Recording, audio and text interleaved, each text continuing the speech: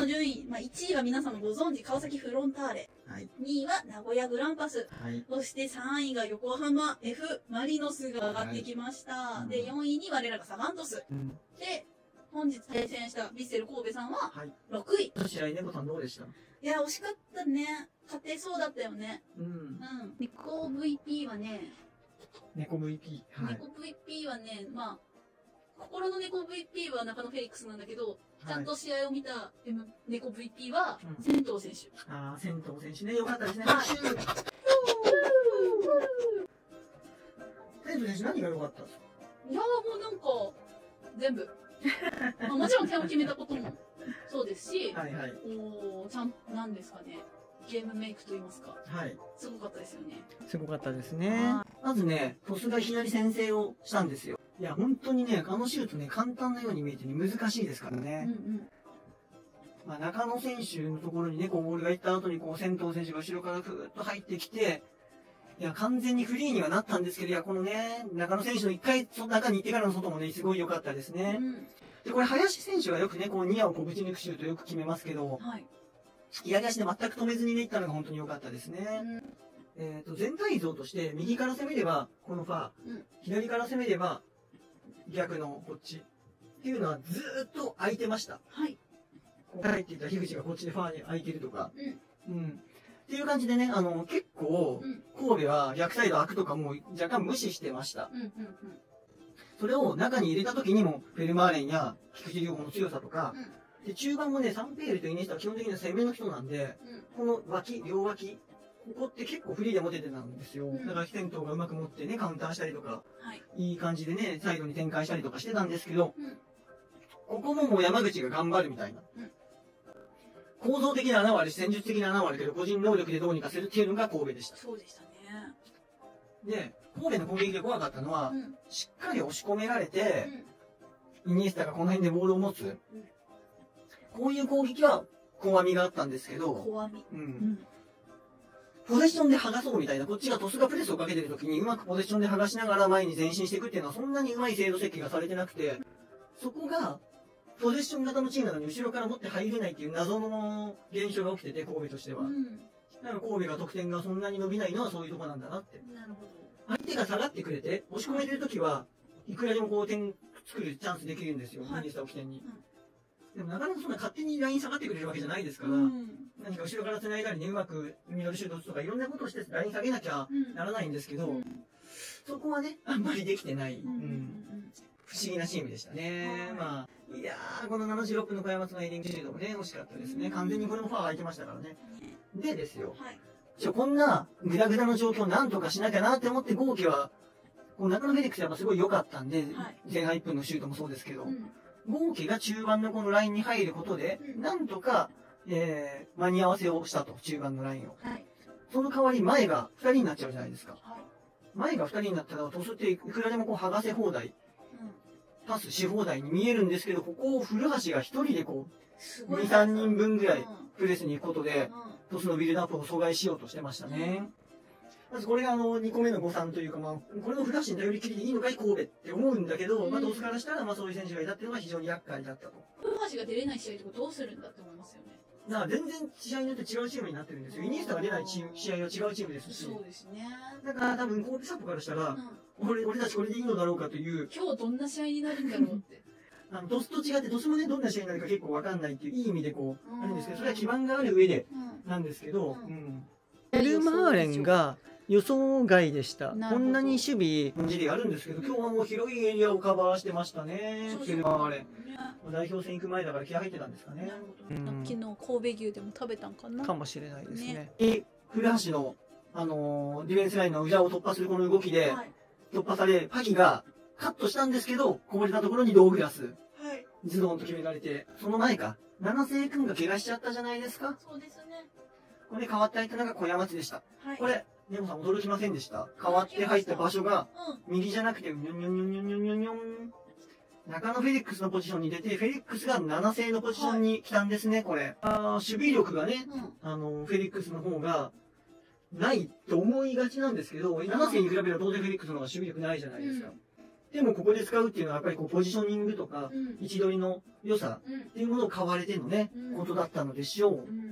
うん。で、フェリックスは序盤、まあ、変わってからちょっと、やっぱ酒井豪徳をね、抑えるって役目なんで、こう最前線までちょいちょいプレスに行くシーンが目立って、はい。この裏を開けちゃってたりとかしたんですね。で、ここをイニエスタとかフラッシュに結構疲れてたんですけど、だんだんとね、樋口にここは行かせて、うんフェリックスはここを蓋せるっていうのができるようになってきて、はい。うん。ほんと10分15分ぐらいですかね、もう右サイドの動きをある程度ものにしましたと。うんで、最初からこれ前にいると、押し込んでボール奪ったとしても相手もいるんで、意外とこう攻めれないんですよ、ガツガツ当たって。それが、この辺でこう、後ろからこう上がってくると、なんかこうフリーになったりもするんですね。うんうんやっぱ上がってくる選手って捕まりにくいので、はい。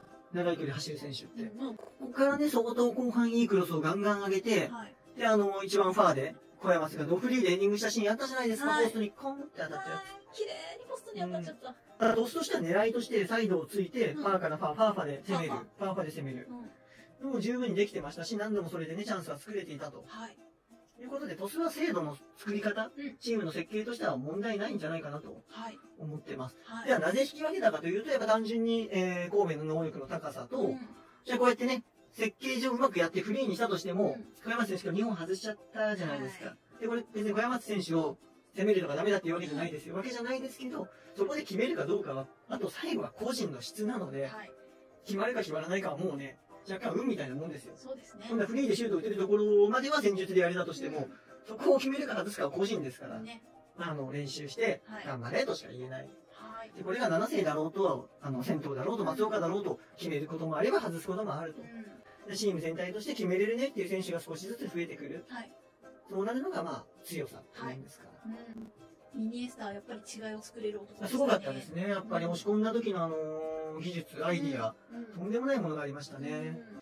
まあまあまあ、そういうわけでね、パギさんがね、インスタでもなんかミスがって言ってましたけど、こんだけライン高くして、後ろのエリア全部パギさんが飛び出して守ってねってしてたら、何回かミスぐらいね、そりゃね。ありますあより。ますよね。なんならフィールドプレイヤー一回もミスしてないかって言ったら全然ね、みんな同じぐらい。うん。で、チームの引き分けはチームの責任ですから、うん。別に誰かをね、責めることもないっうん。ていうところですね。ね。じゃあ、はいそんな、はい。あのー全体像としてはそういう試合でしたというところ、はいで非常にね、あのー最後の瞬間までどっちがゴールを決めるんじゃないかみたいな、そのぐらいのドキドキ感はね、あるような。うん、そんな試合でしたね。はい。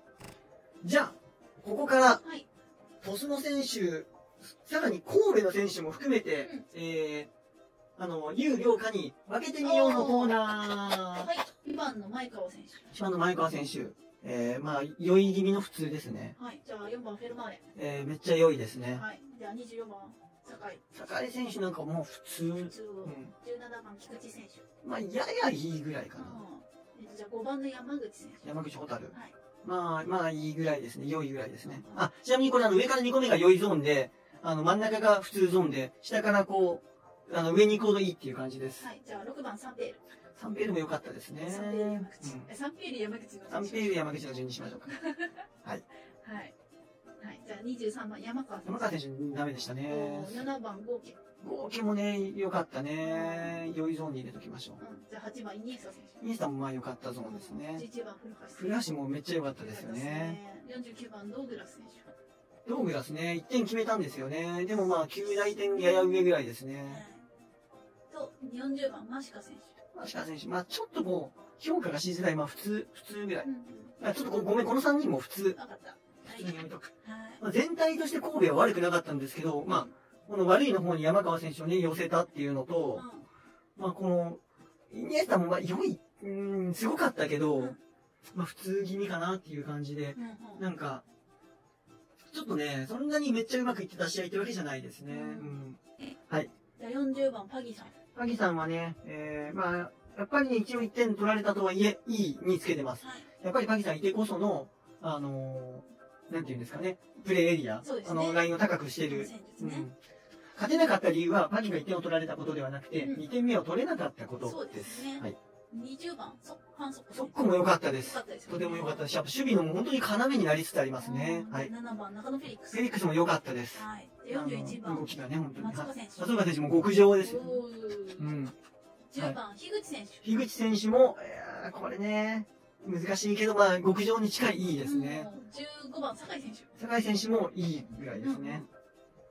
3番、エドアルド選手。左選手普通ですね。普通うん。44番、戦闘選手。戦闘選手極上ですね。31番、大畑選手。大畑選手もまあ普通ですね。8番、林選手。林選手ちょっとね、ややね、頑張れの方向に。ねえ22番、小山選手。小山選手ね、まあ、ギリギリ普通の、まあ、頑張り気味な。おお、そうなんですか。うん。4番、島川選手。島川ちょっとこれ、あの、出場時間短すぎるんで、ですね普通のところに置いておきます。で、47の中野選手。中野選手もまあ、9大点ですね。うん。七瀬。七世もね、相当短かったけど。ど、インパクトは極大、極上でしたね。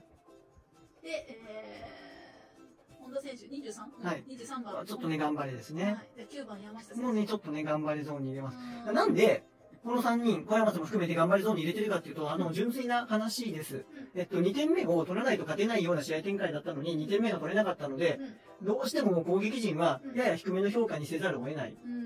誰かが決めてればっていうところなんですけど、ねで、これ個人個人が悪いっていうわけじゃなくて、この試合の、この試合の評価と貢献度としては、まあちょっとね、あの大きいものを与えれなかったという。貢献度ですね貢献度ですね。ううん。ね、龍もね、叩かれてる人多いと思うんですよ。ただ、個人的にはディフェンダーなんで、うんそのパスミスを減点材料にすることはあんまなくて、うん守備の局面でどうやってたかっていったところで、やっぱなかなかこう、中を開けなかったところ、うんさすがだなと、フェルマーレンと、まあ、うまくバランス取って、うんまあ持ってたなと思いますねうん龍子はね、多分言われるよりはね、よくやってると思いますよ。こんな、あの、プレスの、決まりもないようなチームのやり方で。なるほど。僕がディフェンダーやってて、この前線のやり方だったら、うんもう、なん、ど、なん、どうな、なん、なんなの？月なんなの？みたいな両、両監督の采配はどうでしたか？うーん。これ非常に難しくてですね、2はい点目を取りに行った時に山下と本田風長を入れたじゃないですか。はいなんで本田風長を入れたかっていうところが一つポイントなんですよ。やっはい。ぱりこう長い距離のドリブルをさせたかったんじゃないかと僕は思ってるんです。神戸のディフェンダーに対して結構足元で受けて縦に仕掛けるかクロスみたいな攻撃が今日多かったと思いません？はい。覚えわかります？なんとなく。うん、なんか、もっとこう、古橋とかがよくやってたんですけど、うんこう、サイドから中にぐーっとワンツーしながらこうとかドリブルしながらこう大きく持っていってボールを運んだりするっていう、こういう動きが鳥栖側にはあんまなかったんですね。これは小山とか中野フェリックスも期待してた動きだと思うんですけど、大きく運ぶことはなくて、ちょっとその自分のいる場所で受けて、なんかプレーするっていうことにちょっと終始してたんで、相手としては守りやすかったんじゃないかなと。なるほど。もちろんちょっとフリーが作れてたりとかはしたんですけど、なんていうのかな。うん。ちょっとこう目の前でプレーずっとしてたというか、ディフェンスの。なるほど。で、縦に来るときってやっぱりこう、さすがにわかるんで、こう縦に来るときとか、この辺でプレーするとき。まあ、あの、目の視界の中でのプレーなんですね。これをぐーっとこう動くともう、じゃあどっかでマーク引き渡さないといけないとかうん、どこまでついていくのとか、そういうね、感じに、相手をこう、どうするのって選択を強いるような、そんなちょっと大きなダイナミックな動きっていうのが、ちょっと足りなかったなっていう、そういうところですね。で、それを、本田風知にうん。多分求めてたんだと思うんですけど、うん。本田風知もできなかったうん、そんなには。なるほどね。風知も失うのが怖いのか、うん。ワンタッチで叩いてすぐ逃げるプレーも多くてなんかちょっとね、プレーが縮こまってるというか悩みながらプレーしてるのかなという気はしますね。三浦敦弘監督はどうですか？うん。えーと、それは、采配についての質問ですか？それとも監督の適正能力としての質問ですかね？一応両方答えましょう。うん。采配とか戦術っていう面で言うと、えーと、もう、落第点だと思うんですけど、おこの神戸をまとめる監督っていう意味で言うと、うん合格点でしょう。へーいや、これ難しいんですよ。楽天の力もあるじゃないですか。うんいろんなこう思惑あるじゃないですか。うん中でこう、こんだけの能力のある選手がいて、こう、細かい戦術、例えば、鳥栖の戦術を神戸に落とし込もうとしたら、うん絶対言うこと聞かない人が5、6人出てきます。あ11人の中の5、6人で半分ぐらいじゃないですか。ねまあ、そのぐらいなんか柄強いというか、そのもう個人が成立してる選手たちなんですよ。じゃあその選手たちをどう使いこなすかってめちゃくちゃ難しいんですね。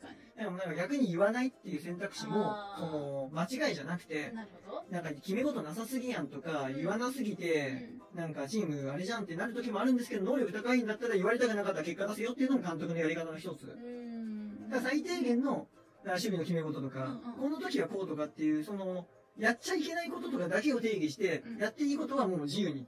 っていうのが、その、能力ある選手とかチーム、強いチームの結構やり方だったりします。なるほどね。で、トスなんかは、うやっちゃいけないことを決めるっていうよりも、これをやろうぜっていう、やるべきこととかをいくつか定義して、うんそれを共通認識にして、やっていくので、そのやるべきことがやれないとなかなかこうレギュラーになりにくい。なるほど。で神戸みたいなチームだと、やっちゃいけないことだけやらないようにすれば、能力さえあれば、まあ誰が出ても、うんそのなんつうかこう、なるほそどね。の基盤がそこまでやん、これをやんなきゃいけないって基盤がそんなにないからなる。ほどね。かといって、じゃあそれが即興で通じないことだってもちろんあるわけうで、ん。うん、難しいですよ。ただ、うんうん。まあ、能力ある選手がそんだけ揃ってるならば、そういう采配もありだということで、ね思った以上によくやってるんじゃないですかね、三浦さん。なるほど。監督がエドワルドにもっと指示出せって言ってた。えでね、今日ね、いまいちでしたからね、全体像としては。あのー自分のゾーンはね、止めたりとかしてたんですけど、こう、どうにもこう、ここ最近疲れからかね、うん。いるべきとこにいないというか、目の前のボールを借りに行くとか。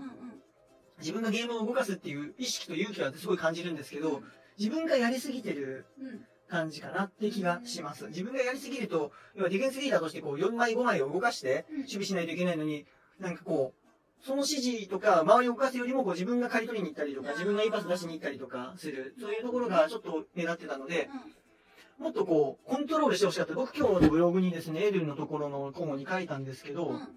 えー、やっぱビルドアップもね、うまくいかなかった古橋一人のこう後追いに結構負けてたところもあって、それも、あのー窮屈になってるところ含めて、やっぱエルアルドがもっとコントロールするべき。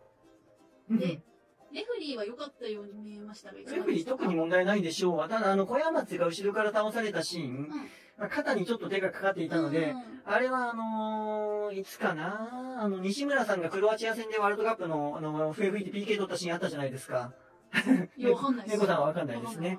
あの時の、あの年の PK 基準であれなら PK ですね。なるほど。まあ、ただ非常に難しいですね。VAR ぐらい言ってほしかった気もしなくはないですけど、何がにゃんでも、にゃんがにゃんでも。にゃんがにゃんでもこうね、にゃんがにゃんがにゃんがにゃんが。じゃんがじゃんがみたいになってるね。うん、うんうんうん。まあ、ギリギリだったのかな？うん。今日の。えー、ざっくり振り返りコーナーでした。もう松岡君で多分ちょっと窮屈な気持ちで、あ確かにちょっと感じましたねト。ラップする瞬間とかのあの足のステップのバタつきとかうんがいつもよりこう、あの落ち着きがないというか、うんなんかちゃんとしないと取られるっていう恐怖心が少し感じてたかいなとつも通。りやってよかったのに、うんなんか確かに恐怖心あったかもしれない。うん。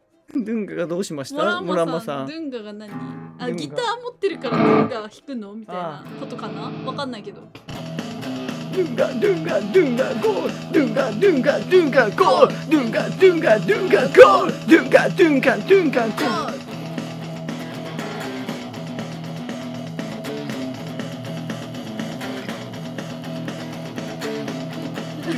ンガ、ドゥンガ、ゴードゥンガ、ドゥンガ、ドゥンガ、ゴードゥンガ、ドゥンガ、ドゥンガ、ゴードゥンガ、ドゥンガ、ドゥンガ、ゴー皆さんそんなところでまたはい。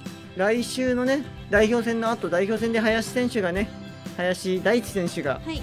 活躍することを祈ってはい。え代表戦を見て次の日リモサ会でまた会えたらいいですねはい。びっくり大谷大谷さんがいじられている じゃあ皆さんさようならお会いしましょう楽しかったです。ありがとうございます。